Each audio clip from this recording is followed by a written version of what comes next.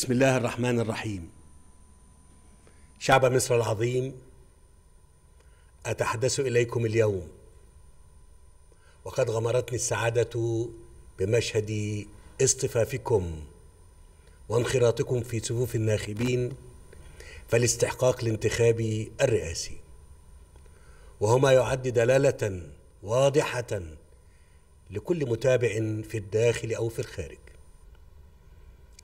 عن حيويه وفاعلية المجتمع المصري بكافة اطيافه وفئاته ويؤكد على أن إرادة المصريين نافذة بصوت كل مصري ومصرية.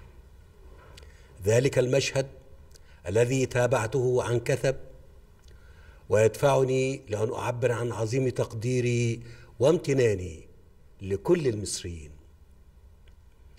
الذين شاركوا في هذا الحدث المهم. في هذا الظرف الدقيق. والذي تواجه فيه الدولة حزمة من التحديات على كافة المستويات.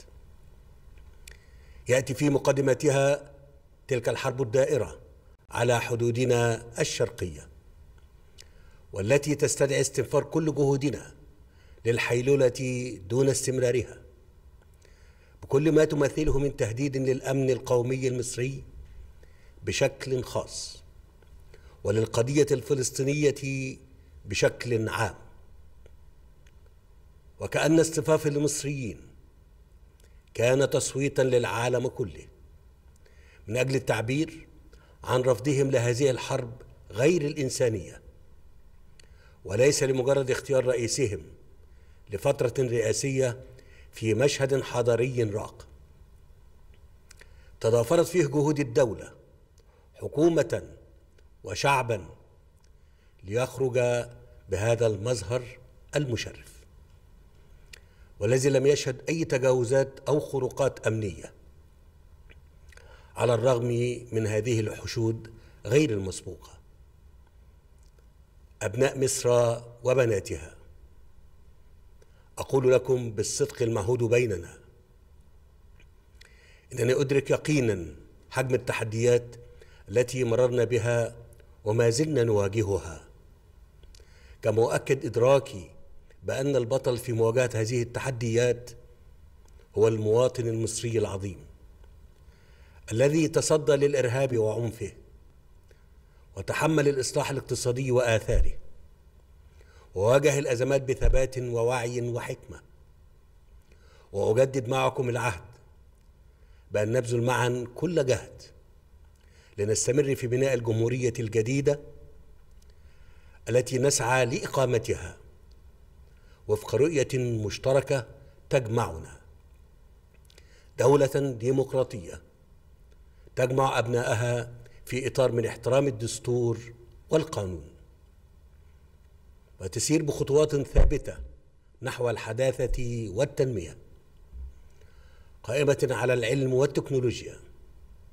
محافظة على هويتها وثقافتها وتراثها.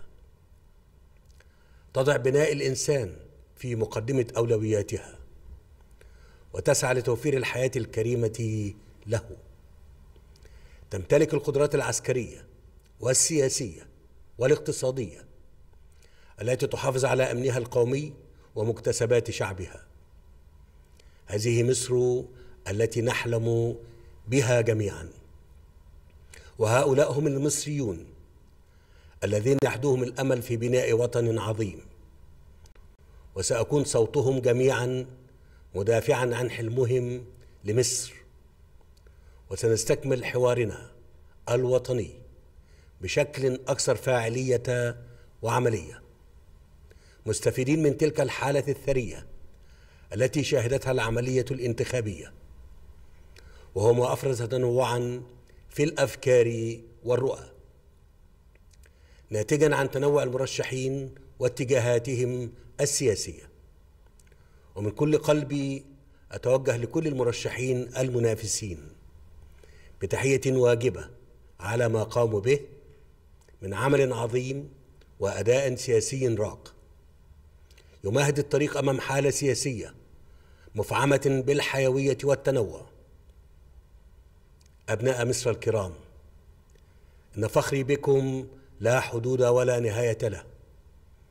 واختياركم لي في مهمة قيادة الوطن هو تكليف أتحمل أمانته أمام الله عز وجل وأمامكم وسيشهد التاريخ به. وكم ازداد فخري وأنا أشهد بعين متأملة جموع الشعب المصري تعبر عن نفسها. في المقدمة كان شباب مصر يعبر عن نفسه وعن حويه مصر ومستقبلها وكالعادة والعهد تثبت المرأة المصرية مرة أخرى بأنها صوت الضمير الوطني المعبر عن صمود وصلامة أمتنا. كما كان عمال مصر وفلاحوها نموذجا للوعي والإرادة. ويأكدون مرة أخرى على أنهم صناع المستقبل وزارع الأمل والشكر موصول لجيش مصر وشرطتها وقضائها الذين أمنوا وأشرفوا على خروج هذه الملحمة الوطنية بتلك الصورة التي استدعت الفخر والاعتزاز. وفي نهاية حديثي إليكم أؤكد أنني كما عهدتكم رجل مصري نشأ في أصالة الحارة المصرية العريقة. أنتمي إلى المؤسسة العسكرية.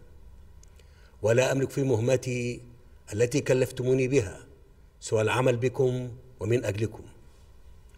لا أدخر جهدا ولا أسعى سوى لإرضاء الله تعالى وتحقيق آمالكم وتطلعاتكم. إن اختياركم لي لقيادة الوطن إنما هو أمانة. أدعو الله أن يوفقني في حملها بنجاح وتسليمها بتجرد. فلنعمل معا لأجل مصرنا العزيزة وبقوة شعبها واصطفافه الوطني دائما وأبدا وقبل كل شيء وبعد كل شيء بالله سبحانه وتعالى تحيا مصر تحيا مصر تحيا مصر. والسلام عليكم ورحمة الله وبركاته.